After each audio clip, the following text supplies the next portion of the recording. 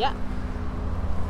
Servus und Hallo aus dem Autoladen Dresden und herzlich willkommen zur Fahrzeugpräsentation dieses Ford Tourneo Customs. Wir haben hier 2, 4, 6, 8 Sitze mit verbaut und äh, gerade jetzt in dem Augenblick kommt sogar noch die Sonne raus. Ich denke, das ist ein gutes Zeichen für das schöne Auto. Da kommt nämlich der Lack besser zur Geltung, weil das ist der Grund, warum wir das Video machen. Heißt, dass ihr schon mal einen ersten Eindruck habt, wie der so beieinander ist und äh, ich denke an sich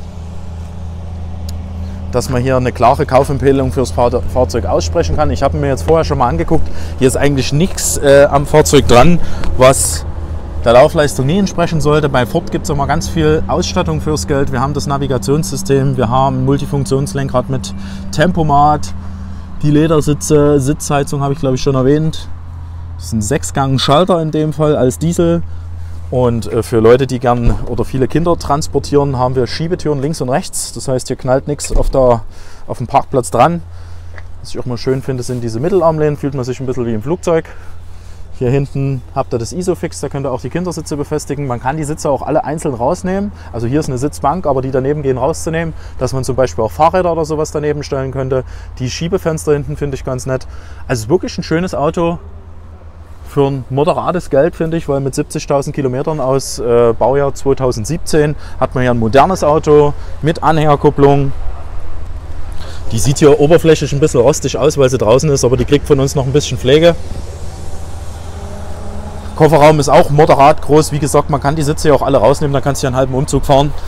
Also von daher viel, viel Platz für einen guten Preis.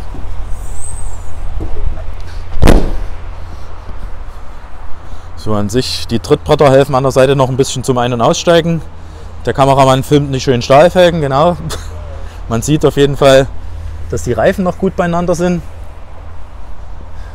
Und die Außenfarbe grau äh, macht sich bei so einem Bus, denke ich, äh, ganz gut, weil Grau ist eigentlich so die unempfindlichste Farbe, die ihr sozusagen für ein Auto äh, äh, kaufen könnt. Weil beim schwarzen Auto fährst du aus der Waschanlage raus, zack, dreckig, kennt wahrscheinlich jeder. Und bei so einem grauen Auto, den wäschst du vielleicht einmal im Monat und der sieht eigentlich immer relativ gepflegt aus. Sollten wir das Interesse geweckt haben, dann lasst es uns gern wissen.